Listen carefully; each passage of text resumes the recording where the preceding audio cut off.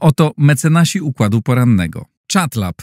Chatbot dla stron internetowych oparty na sztucznej inteligencji, który uczy się Twojego biznesu, by wspomagać Twoich klientów. Wejdź na chatlab.pl. Portu. Platforma do pasywnego inwestowania dla początkujących i zaawansowanych inwestorów. Wejdź na www.portu.pl. Ecovoltis.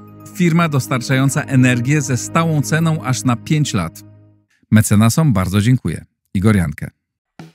Kilkaset osób zginęło w izraelskich nalotach na Liban. Premier Danii wzywa sojuszników Ukrainy do umożliwienia jej ataków na terytorium Rosji. W Albanii ma powstać muzułmański odpowiednik Watykanu. Unia Europejska pozwała Chiny do Światowej Organizacji Handlu za dochodzenie w sprawie nabiału. Europejski lider w dziedzinie produkcji baterii ogłosił zwolnienia w związku ze spadkiem popytu na auta elektryczne. Elon Musk zapowiada pięć bezzałogowych misji na Marsa.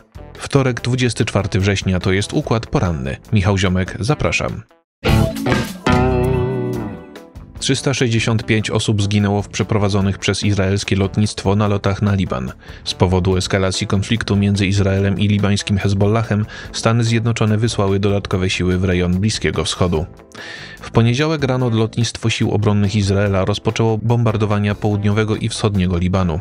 Po kilku godzinach przeprowadziło z kolei naloty na Bejrut. Libańskie Ministerstwo Zdrowia poinformowało, że łącznie w izraelskich atakach zginęło 365 osób, w tym 42 kobiety i 24 dzieci. Rannych zostało prawie 1300 osób. Minister obrony Izraela Jakow Galant twierdzi, że w trakcie nalotów zniszczone zostały dziesiątki tysięcy rakiet i amunicji precyzyjnej należącej do Hezbollahu. Szef Sztabu Generalnego Sił Obronnych Izraela Herzi Helavi zapowiedział przejście do kolejnego etapu walki Izraela z libańskim ugrupowaniem. Głównym celem kolejnych faz izraelskich operacji ma być zniszczenie infrastruktury zbudowanej przez Partię Boga w ciągu ostatnich 20 lat. Atak Izraela na Liban został potępiony przez kraje arabskie. Egipt wezwał mocarstwa międzynarodowe i członków Rady Bezpieczeństwa Organizacji Narodów Zjednoczonych do natychmiastowego podjęcia działań wobec nalotów prowadzonych przez Izrael. Turcja oskarżyła Izrael o celowe pogrążanie regionu w chaosie. Stany Zjednoczone w związku z napiętą sytuacją na Bliskim Wschodzie wysłało w ten rejon swoje dodatkowe siły. Departament Obrony USA nie podał żadnych szczegółów. Obecnie w regionie stacjonuje około 40 tysięcy amerykańskich żołnierzy. W weekend amerykański sekretarz obrony Lloyd Austin miał dwukrotnie rozmawiać z izraelskim premierem Benjaminem Netanyahu na temat deeskalacji konfliktu. Duńska premier Mette Frederiksen uważa, że sojusznicy Ukrainy powinni przestać mówić o czerwonych liniach i pozwolić ukraińskim wojskom na ataki w głębi terytorium Rosji. Zdaniem szefowej duńskiego rządu najważniejsza czerwona linia została przekroczona już dawno. Był nią mianowicie atak Rosji na Ukrainę w lutym 2022 roku, dlatego Rosjanie nie powinni decydować o tym, jakie działania będzie podejmować Europa i Sojusz Północnoatlantycki. Frederiksen w związku z tym zaapelowała do sojuszników Ukrainy, aby umożliwili oni siłom zbrojnym Ukrainy atakowanie Rosji przy pomocy przekazanych im rakiet dalekiego zasięgu. Zakaz nałożony na Ukrainę jest postrzegany przez premier Danii jako korzystny z punktu widzenia Rosji. Ukraińcy z jego powodu nie mogą zadać ciosów swojemu przeciwnikowi, który z kolei dokonuje konsekwentnie nalotów na ukraińskie terytoria. W związku z tym to Rosjanie mają inicjatywę w trwającej wojnie. Od wielu miesięcy wśród państw należących do NATO trwa dyskusja na temat zniesienia dotychczasowych ograniczeń nałożonych na Ukrainę. Stany Zjednoczone obawiają się, że ukraińskie ataki przy użyciu wspomnianych rakiet mogłyby jedynie doprowadzić do eskalacji konfliktu. Inne stanowisko zajmują niektóre kraje europejskie. Spośród państw nordyckich przed Danią za taką możliwością opowiedziały się Szwecja i Finlandia. Ukraina może używać broni dostarczonej przez Szwecję do ataków w głębi terytorium Rosji, o ile podejmowane przez nią działania są zgodne z obowiązującym prawem międzynarodowym.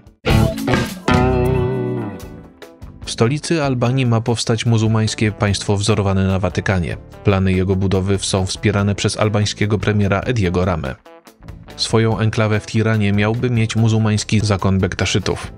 Według deklaracji Ramy powierzchnia islamskiego państwa miałaby łącznie 10 hektarów, czyli odpowiadałaby 1 czwartej terytorium Watykanu.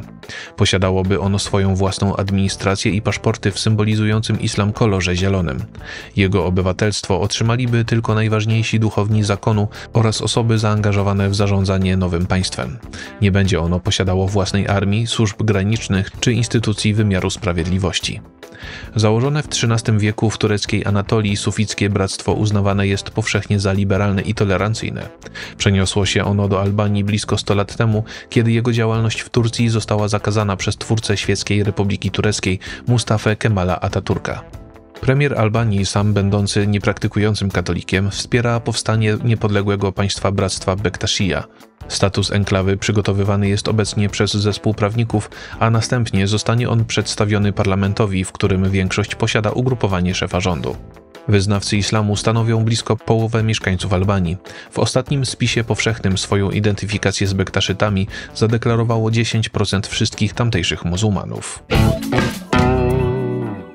Unia Europejska pozwała Chińską Republikę Ludową do Światowej Organizacji Handlu w związku z postępowaniem dotyczącym europejskich produktów mlecznych.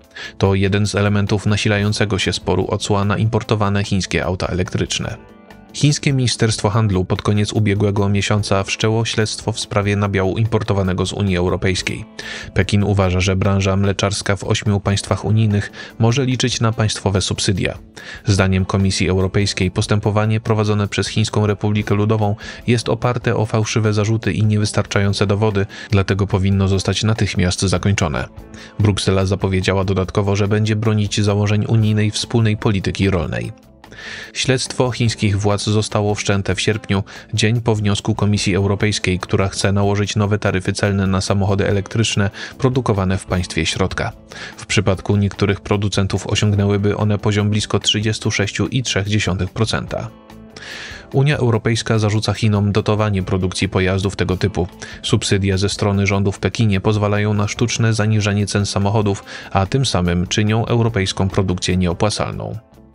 Chiny w odpowiedzi od kilku tygodni prowadzą także postępowania dotyczące wieprzowiny i alkoholu.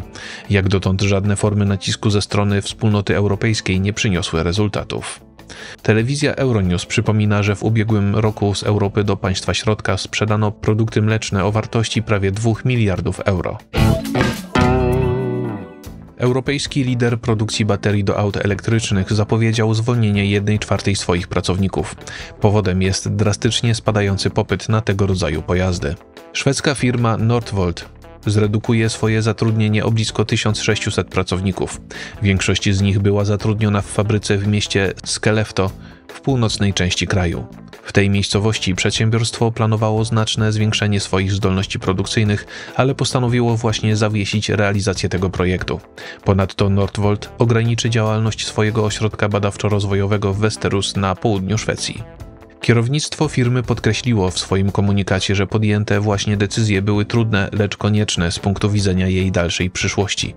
Portal Politico uważa zwolnienia w szwedzkim przedsiębiorstwie za duży cios dla strategii Unii Europejskiej w zakresie rozwoju produkcji przemysłowej. Nordvolt było dotąd europejskim liderem produkcji akumulatorów do samochodów elektrycznych.